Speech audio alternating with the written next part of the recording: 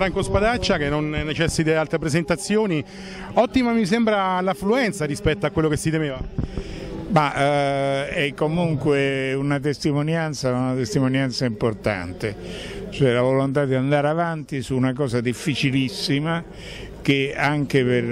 la complicità dell'informazione italiana e per l'assenza di dibattito gravissima dopo il messaggio alle Camere del Presidente della Repubblica, eh, bisogna continuare a portare avanti senza scoraggiarsi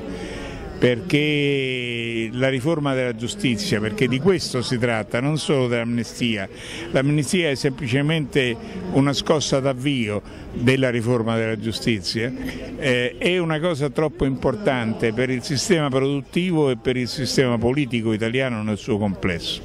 un paese in cui la giustizia non funziona è un paese eh, necessariamente in crisi, necessariamente destinato a una crisi sempre più grave. Quindi questa per eccellenza è la riforma delle riforme che bisogna fare e affrontare e ci troviamo di fronte a un muro di, eh, di demagogia, di emotività, di emotività sbagliata perché si guarda alla superficie dei fenomeni invece di guardare ai fenomeni. Per esempio nei giorni scorsi,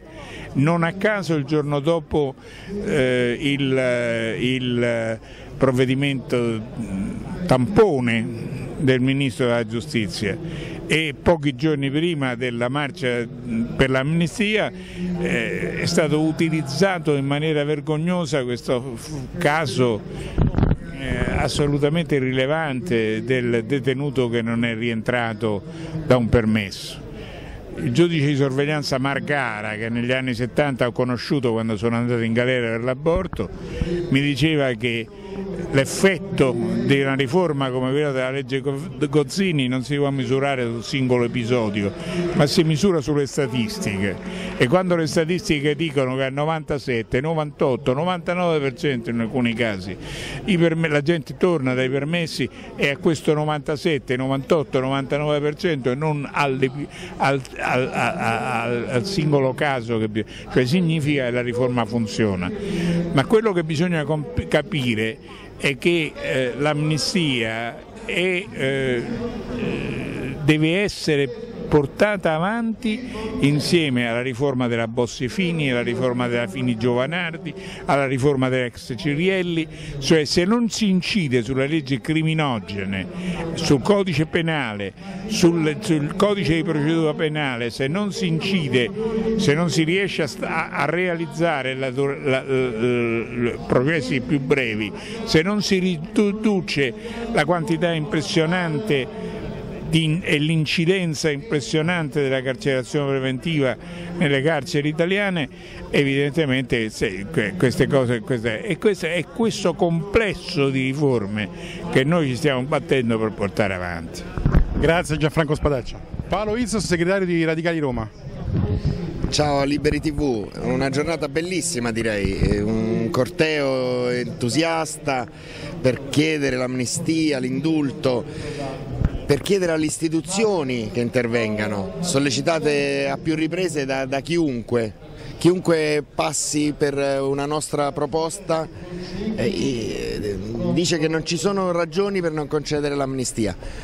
Adesso abbiamo iniziato la marcia da Piazza San Pietro perché il Papa stesso è stato il primo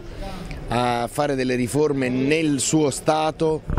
che hanno superato le nostre eh, ci arriva la notizia che Putin in maniera alquanto pubblicitaria anche lui ha già concesso un'amnistia.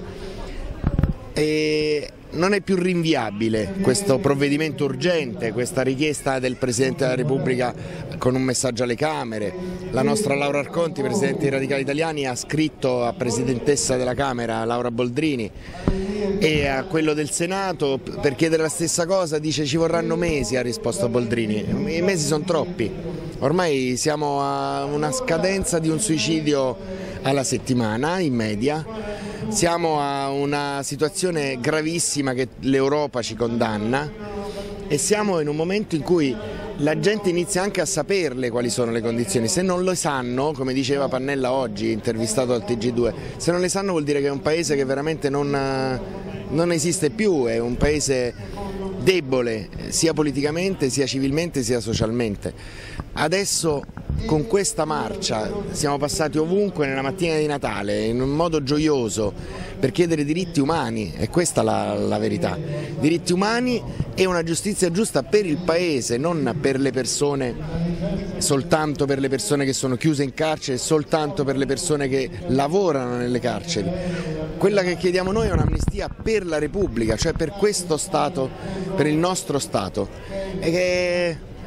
è bellissimo, è stato bellissimo vedere anche gli esponenti del partito tutti uniti, qua compatti. È passato Marino,